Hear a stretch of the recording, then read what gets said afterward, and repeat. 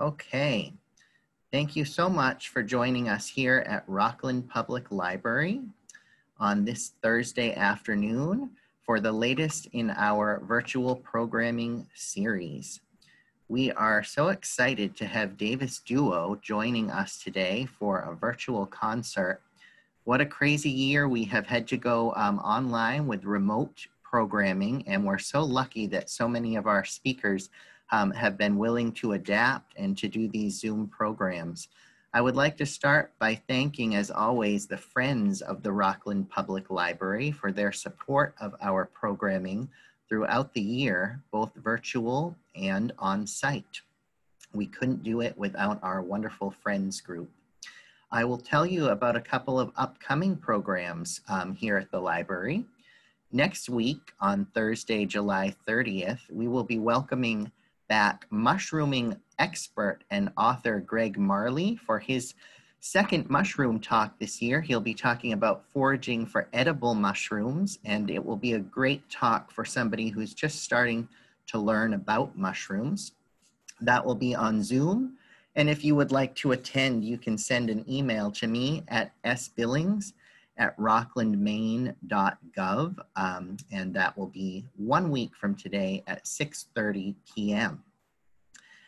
In two weeks, we are going to be welcoming um, Marine Mammals of Maine, and they're going to be giving a virtual talk entitled A Seal's Journey. Uh, Jessica Woodend from Marine Mammals of Maine will take the audience through a seal's journey from stranding to release, and she's going to cover many of the obstacles that seals face along their journey.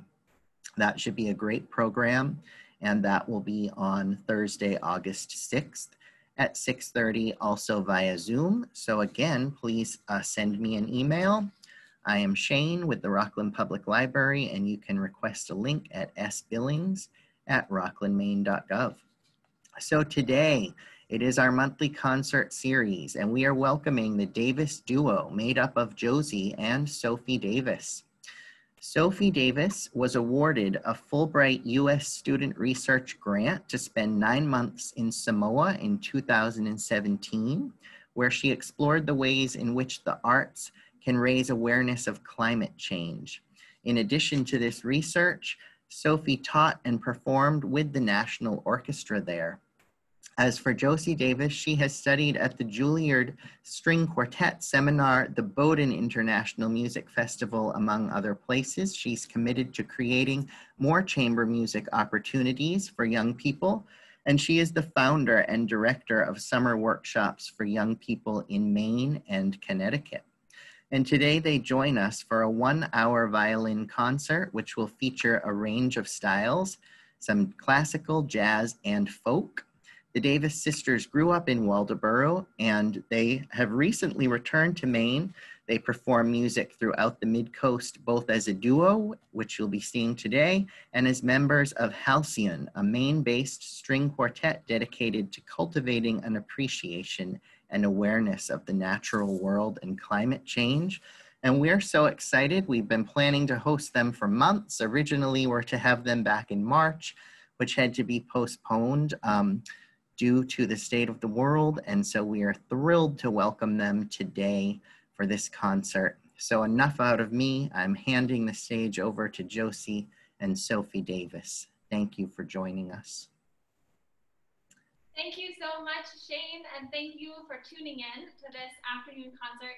We are so excited to be able to share our music, and one of the things that this pandemic has taught us is the importance of flexibility and also the importance of the arts and culture in this time. And we feel that having a respite by sharing music um, is an important thing we must continue through this, even if it's digital. So we're really excited to share music for you, and we're going to start with, by playing a waltz called Josephine's Waltz.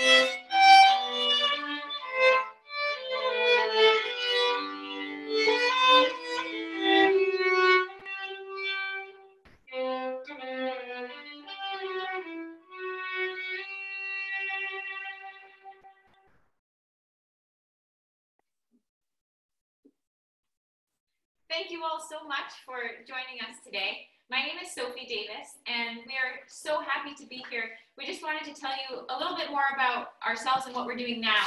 Um, we both live in the Midcoast area, and as Shane mentioned in his, very kind introduction, are really devoted to performing and teaching around Maine, um, and both teach music in in the Midcoast area, and are so grateful um, to be able to continue sharing music during this time. It's so important, and the more ways we can figure out how to do that, the better. So thank you again for joining us. And we're, like Sophie said, just thrilled to be back in Maine. After years of traveling and school, we've just moved back and are living 15 minutes away from each other, which is a dream for us. And we have spent a lot of time in these months of isolation playing together, which is a blessing and something that we feel so fortunate to be able to do. And so it's really special for us to have a platform to share some of the music that we spend our days playing. So the next piece we're going to play is Leclair's Fifth Sonata for two violins.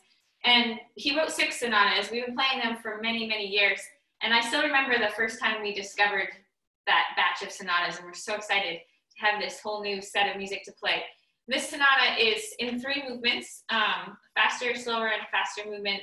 And it reminds me a lot of birdsong in spring. You'll hear a lot of trills and fast little conversational gestures among the two violins. So we hope you enjoy.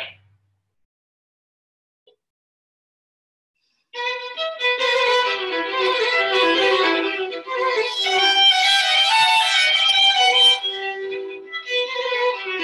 you.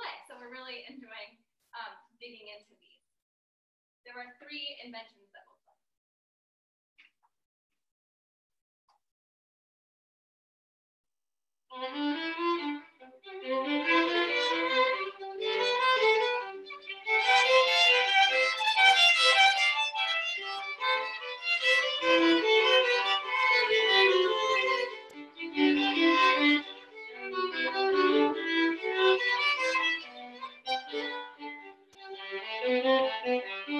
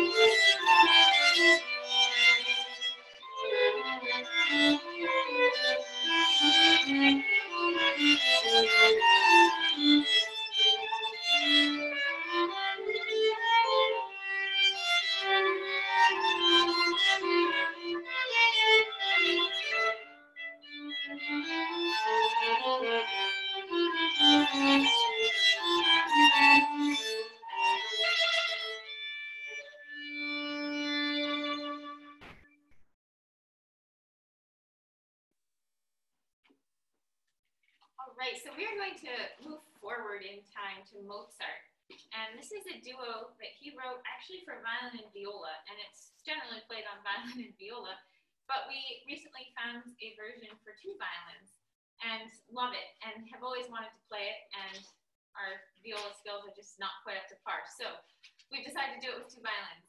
Um, and it's an interesting piece. Mozart wrote this in the summer of 1783 after he returned to Salzburg.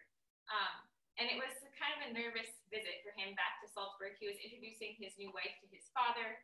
Um, and while he was there, he met his friend, Michael Haydn. This was Joseph Haydn's younger brother. And Haydn was ill and unable to fulfill a court commission that he had to compose six duets. And Mozart decided he would fill in and he composed the, the rest of them. And this is one of them. Um, turns out Mozart's were given more praise than Haydn's, and so his are the ones that are remembered. But this is probably the most famous one, and it's in three movements as well. And we hope you enjoy.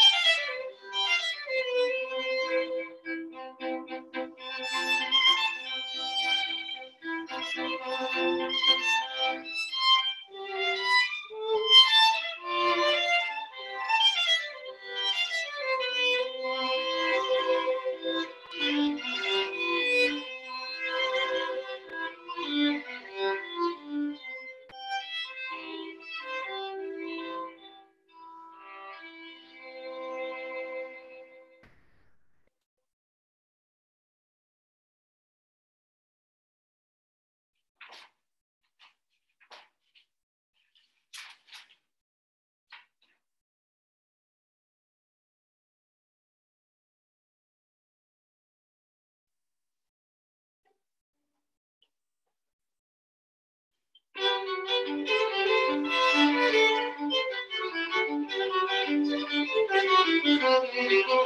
you.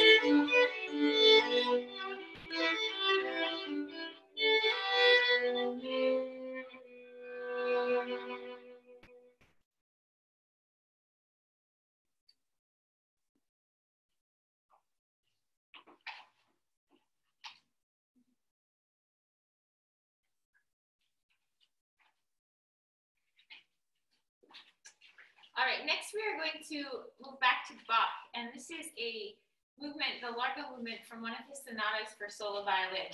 And Bach wrote six sonatas and partitas for solo violin that are kind of um, some of the most influential pieces I think any violinist will play. And they're incredible masterworks. And we have played many of them, all of them individually, but we recently learned that you could play them together um, and found these arrangements for two violins. And it's been a really fun exploration to to play these pieces with two people and kind of mesh our ideas and interpretations into one.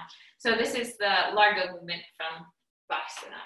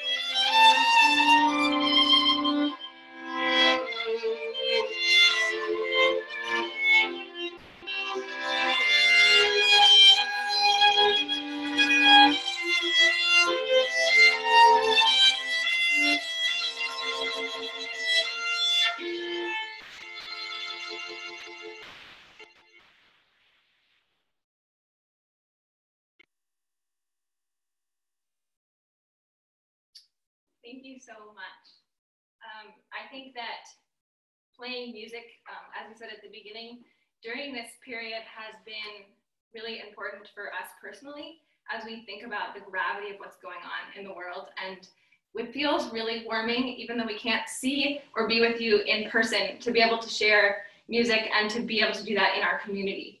And so thank you so much for tuning in. And also thank you to Shane and the Rockland Public Library for supporting artists and supporting the arts and culture during this period. We think it's vital and it's sustained us. And so we're just really grateful that it's part of our community still, even in this really unusual period.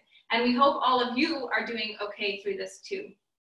We're going to end today with two jazz pieces. The first is a piece called Autumn Leaves, which is inspired by a singer named Eva Cassidy, who we love and who died very young in her career and put out um, a small amount of music, but all of it is spectacular. And we love her recording of this, and so decided to try to capture as much as we could from the recording. And then following Autumn Leaves will end with a, a very contrasting, upbeat, and joyful piece that's called After You, My Dear Gaston. So thank you again, and I hope you enjoy these last two pieces.